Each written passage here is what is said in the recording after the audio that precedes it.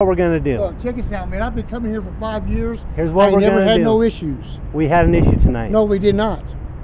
I was going to pay for my shit. You never see you don't even anywhere. have any money to pay for it. Who don't? I got ten of it now.